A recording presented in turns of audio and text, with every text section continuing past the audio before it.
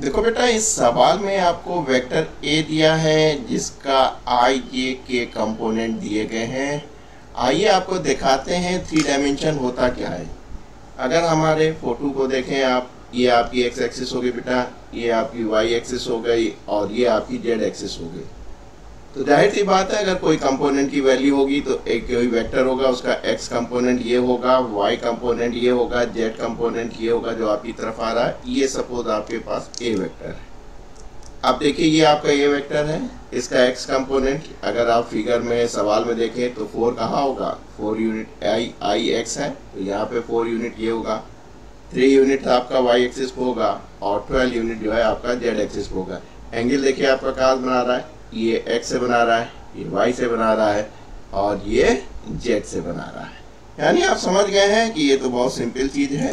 Three में आप समझ गए कि अगर हमारे पास कोई वेक्टर ए है that is given by four I plus three J plus twelve तो अगर हम इसका फिगर बनाने की कोशिश करें, आपको टू डायमेंशन में बना दूँगा मैं और जिसको आप अंतोगत तक थ्री डायमेंशन में समझ जाएँगे। ये वेक्टर एक्स एक्सिस है, यानी आई है राइट और ये आपका सपोज़ वाई है, जो कि जे से रिप्रेजेंट हो रहा और आपके पास एक वेक्टर क्या है आपके पास? ए है। Am right this is your vector A X component क्या है? इसका फोर यूनिट का है। वाई कंपोनेंट इसका तीन यूनिट का है। एम राइट इसका आप मैग्नीट्यूड निकाल लीजिए तो एंगल आपको निकालना बहुत आसान हो जाता है। आपको एंगल निकालना है from the X axis X axis से एंगल क्या हो गया? ये आपका थीटा हो गया। तो आपने कहा हम बहुत आराम से निकाल सकते हैं। अगर वेक्टर ए का मैग्नीट्यूड निकाल लें, कितना होगा बेटा? Four square plus three square magnitude is always added आप जानते हैं।